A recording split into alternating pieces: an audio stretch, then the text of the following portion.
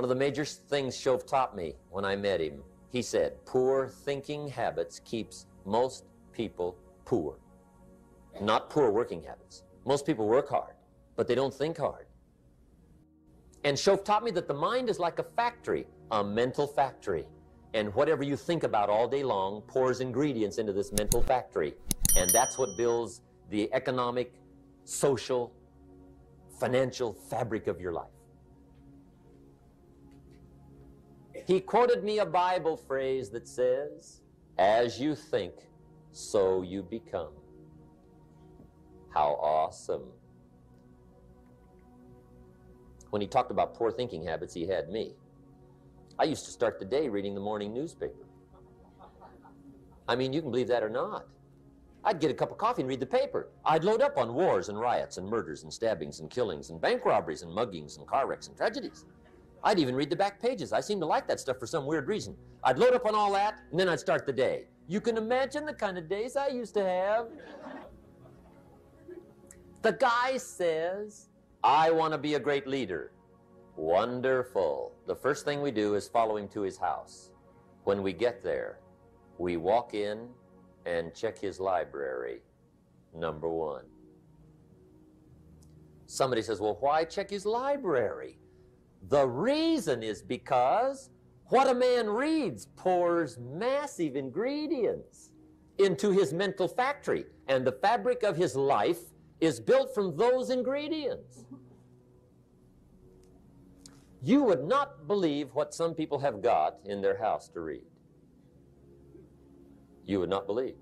One of the best dressed up words I know for a lot of it is trash.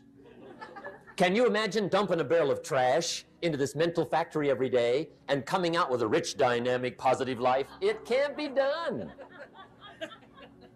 You might as well try making a cake with cement. The kids back in Danbury, Connecticut, high school, they're asking me questions one day. I'm talking to the kids. Kids got good questions these days. One of them said to me, Mr. Rohn, how do you build the good life? I said, it's simple. It's not easy, but it's simple. Here's how you build anything. Select the right ingredients, keep out the wrong ingredients, and it starts with thought. Everything starts with thought. So you must be wise and careful what you think about because that starts everything. You got to be wise and careful. I asked the kids, what would happen if somebody dropped sugar in my coffee? They said, well, you'd be okay. I said, what if somebody dropped strychnine in my coffee? They said, well, you'd be dead. I said, correct. Lesson one life is both sugar and strychnine. You gotta be careful. I said, What if my worst enemy drops in the sugar? They said, Will you be okay? I said, What if my best friend, even by accident, drops in the strychnine? They said, Well, you'd be dead. I said, Correct. Lesson two watch your coffee.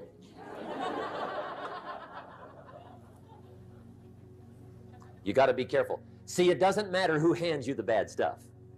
It doesn't matter where you get the bad stuff. It'll still do its damage on your bank account. Wherever you get it.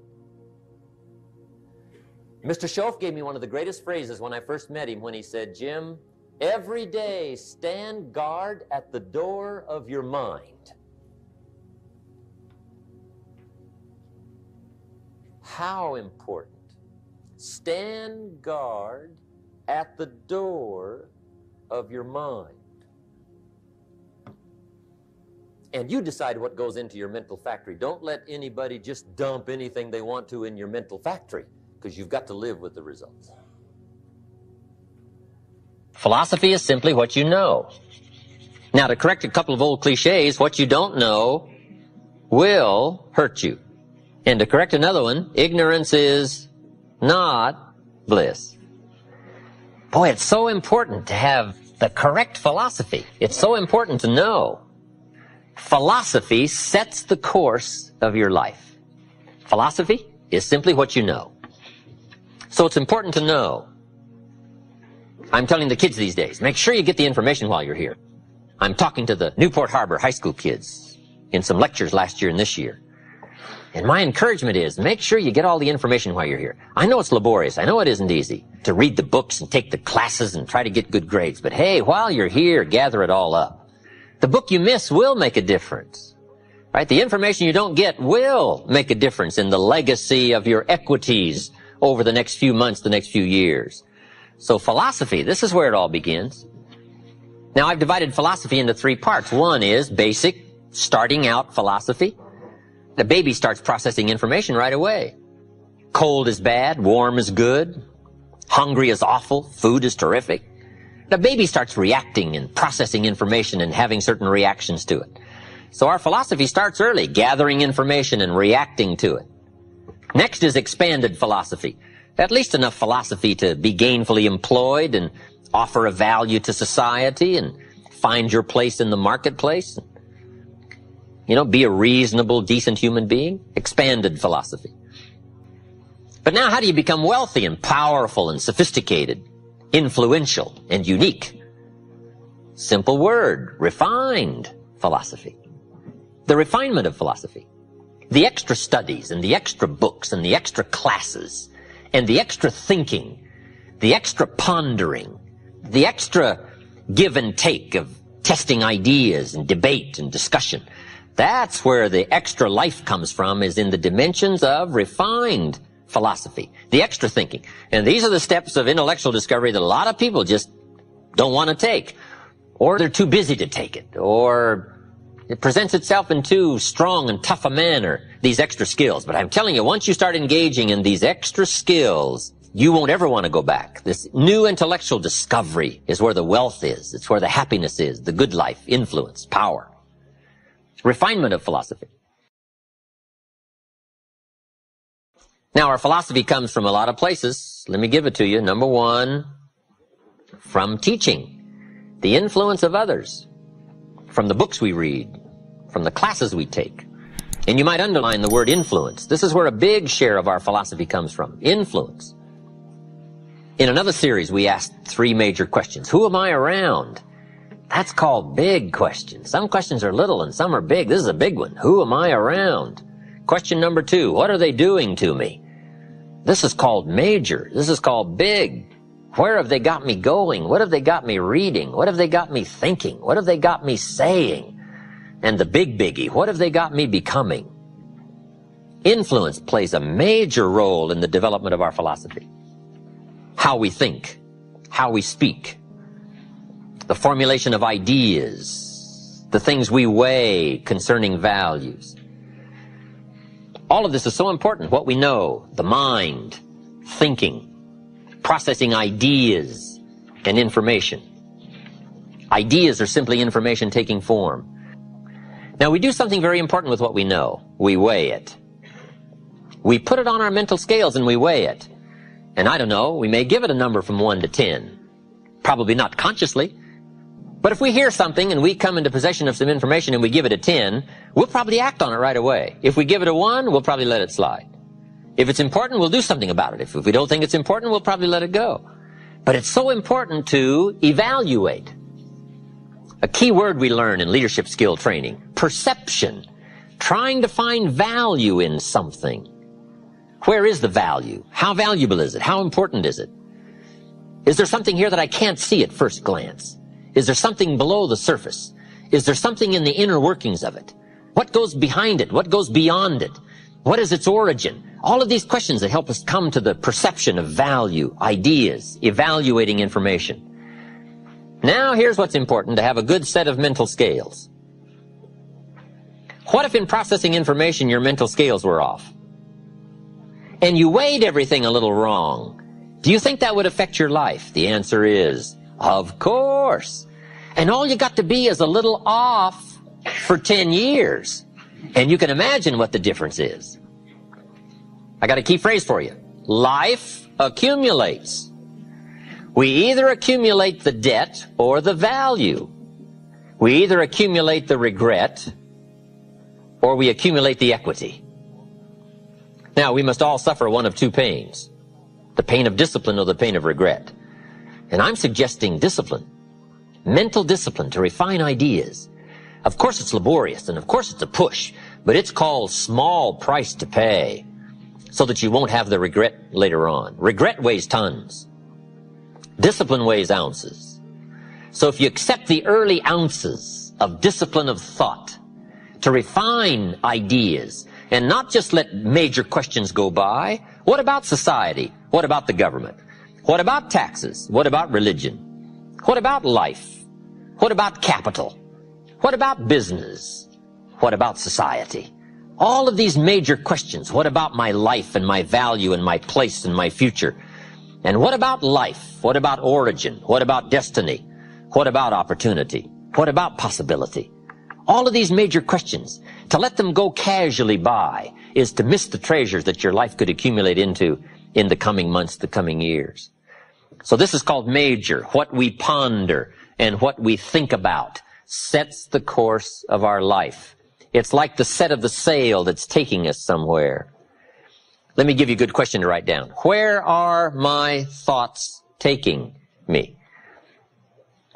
This is a biggie question. Where are my thoughts taking me? These are some of the things you want to make sure of. You might be able to be casual about some things, but here's some things not to be casual about. My philosophy is taking me somewhere. Big question, where? The accumulation of equity will either be there or won't be there. Life accumulates. And I'm either accumulating debt that I'll be sorry for or I'm accumulating value that I'll be happy about. It's not what happens that determines your life future. It's what you do about what happens. All of us are in like a little sailboat. And it's not the blowing of the wind that determines your destination, it's the set of the sail. So jot this phrase down. It's one of the best to understand. Kids need to understand it. The same wind blows on us all. The wind of disaster, the wind of opportunity, the wind of change, the wind when it's upside down, the wind when it's favorable and unfavorable. The same wind blows on us all. The economic wind, the social wind, the political wind. The same wind blows on everybody. The difference in where you arrive in one year, three years, five years, the difference in arrival is not the blowing of the wind, but the set of the sail. And that's what learning is all about, to set a better sail this year than last year. To set a better sail. The first six years of my economic life, I wound up broke. Second six years, I wound up rich. You say, well, the Democrats must have finally gotten power. No. No. It was not a political change. Here's what changed the second six years of my economic life. It was my philosophy that changed the set of the sail of better thinking, correcting the errors of the past and picking up new disciplines for the future. That's all I had to do at the end of the first six. Correct the errors of the past and then pick up some new disciplines for the future. And my total life changed. The second six years was totally different than the first six of my working life. And guess who can do that? Anybody. Now you can keep on the same path for the next couple of years as you have the past two. But if you wish to, if you wish to, and maybe everything's okay for you and you don't need to, but if you need to make some changes, I'm telling you, you can start doing it today so that the next two years will be drastically different than the last two. And anybody who wishes to do that can. And you can do it between ages 40 and 43. You can do it between ages 13 and 15. You can do it between ages 60 and 62. Any two years, any five years that you wish to drastically change from the previous five, you can do it. If you wish to. Now, this isn't written. This is not a law. Here's what it's called opportunity. If you don't know you can drastically change your income, change your future, change your health, change your marriage, change everything. If you don't know that, some people then go year after year after year after year not making much change simply because they didn't get to the class. They never read the book. They never went to the seminar. They never made the discovery. They didn't seek for the knowledge of how could I make my life better. And if you just rock along, I'm telling you it's okay. Anybody can live any way they choose, but I'm here to tell all of you that if you wish to, it's possible to make the next three years totally different than the last three. And all you have to do is just a few things. So if you got that one now, it's not the blowing of the wind that determines your income. It's not the blowing of the wind that determines your fortune. It's the set of the sail. And that's why we gathered here today. Maybe I've got some ideas that'll help you with a couple of little things about setting the sail of your thinking that might drastically give you multiplied more benefit the next three years than you've gotten in the last three.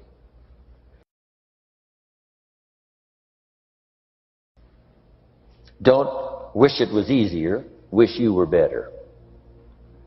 Once I understood this, this altered the course of my life. Don't wish it was easier, wish you were better.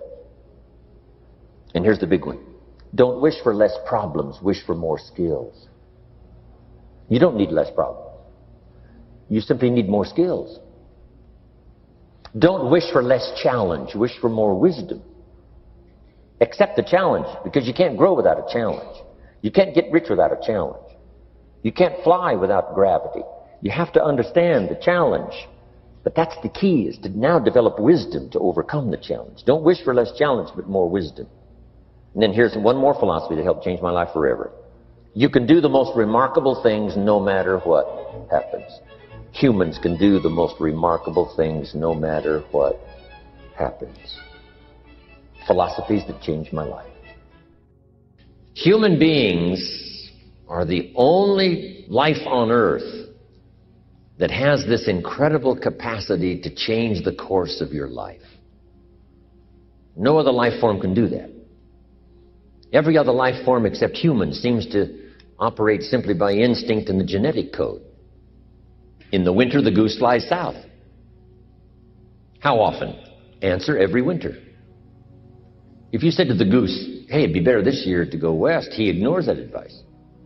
And the reason is because he cannot make choices and listen to advice of something that might be better. He has to obey instinct and the genetic code. But now jot this down not human beings. Human beings can alter the course of their life. Human beings can live one way for five years, tear up that script, live a totally different way the next five years. The first six years of my economic life, I wound up broke. Second six years, I wound up rich. Someone says, How did you do that? Here's number one I discovered I was not a goose. Someone says, Don't you have to do the second six years like you did the first six years? And jot this down. No. No, you don't have to live the second six years like the first six. You can use all the information and all the advice and repairing all of your mistakes and adopting a new and refined philosophy so that the next six years can be totally different than the last six. No other life form can do this. See, if you were a tree, you'd be stuck. As a tree, if you used up all the nourishment that was around you and you couldn't change location, see, you would die. But that's not true. Human beings can change location, go north, south, east, west, live here for a while, live somewhere else for a while. So that's a note to make. You can greatly alter the course of your life. Now, here's the next note to make. Five years from now, you will arrive. The question is where? This is for mature people now. If you keep up your present disciplines and keep up the present pace that you're on, where will you be in five years? Boy, it's easy to say, hey, I haven't really thought about that. So now make this note. In five years, here's the probability. You will either arrive at a well designed destination or an undesigned destination.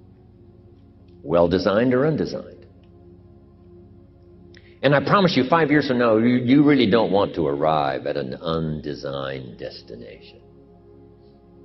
Because you may very well wind up wearing what you don't want to wear, driving what you don't want to drive, living where you don't want to live, maybe doing what you don't want to do. Simply because you didn't design a better destination. Key phrase up front, the decisions are easy. Now, sometimes after we've lived a few years now to repair our mistakes and get back on track seems like a tough job. But here's the key, and it's so exciting to talk to the teenagers. Make the note. If you start early, the fortune belongs to you. If you start early. All fortunes that are available to humans, if you start early, the promise looms large and the odds are heavy in your favor. Now, yes, it's possible to do some radical things starting late and still arrive with some good treasures and some good things. But when you haven't got that much time left, now sometimes the decision has to be so drastic people are not willing to make it and they're too tired and too weary and too ill. And say, look, I don't have much time left. It's not going to happen for me anyway. It's easy to take that attitude. But everyone here, we've got the time over the next 10 years. We've got the time the next 20 years. We've got the time the next 30 years to make some repair now in our errors of the past and set up some new disciplines. And I'm telling you, that's going to change everything. So, five years from now, I wish for you to arrive at a well designed place. A place of productivity, a place that'll make you feel good about yourself, a place that'll give you honor and respect, a place that'll give you influence to touch other people five years from now that you couldn't do today. Where will you be in five years? Key phrase We go the direction we face. We go the direction we face. If you start designing something at the end of this direction, sure enough, you will start going the direction you face.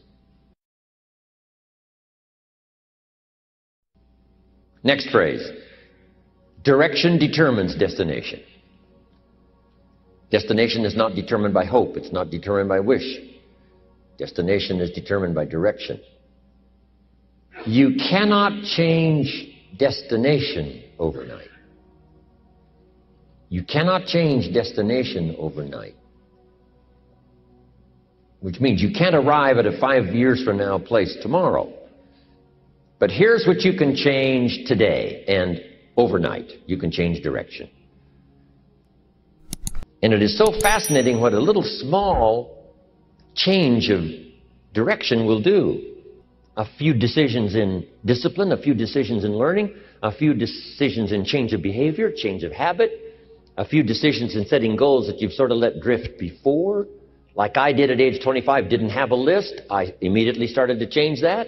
And I immediately started to change my direction. In less than seven years, I was a millionaire.